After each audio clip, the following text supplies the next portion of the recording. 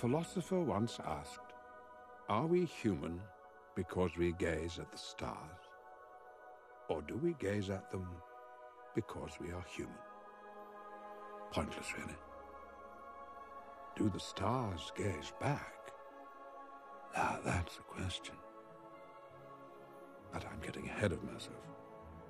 Our story really begins here, 150 years ago at the Royal Academy of Science in London, England, where a letter arrived containing a very strange inquiry. It had come from a country boy, and the scientist who read it thought it might be a practical joke of some kind.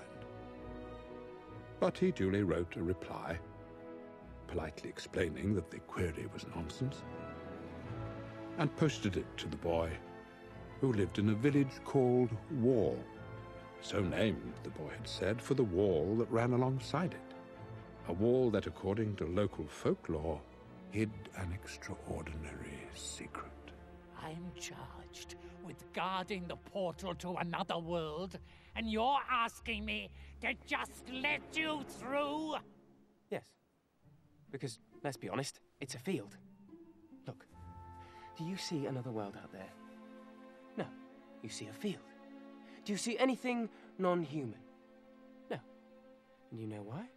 Because it's a field! Hundreds of years this wall's been here. Hundreds of years this gap's been under 24 hour guard. Well, One more word, and I'll have you up in front of the village council. well, that's.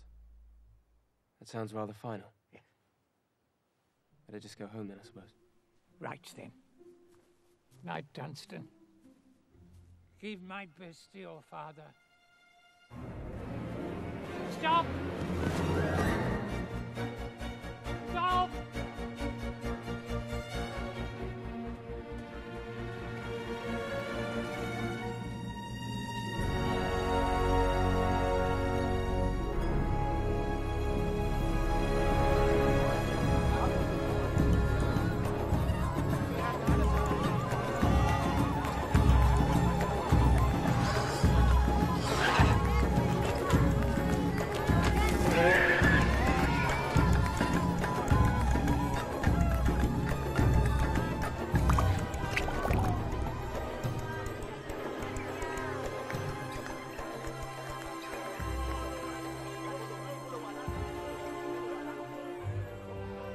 Don't deal with time wasters.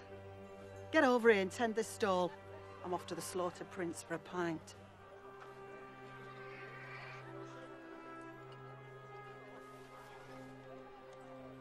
See anything you like? Um. Definitely. I mean, what, what, what, I, went, what I meant was. The, these ones, the, the blue ones. How, how much are they? They might be the colour of your hair. Or they might be all of your memories before you were three. I can check if you like. Anyway, you shouldn't buy the bluebells. Buy this one instead. Snowdrop. It'll bring you luck. Wait, what does that cost? This one costs a kiss.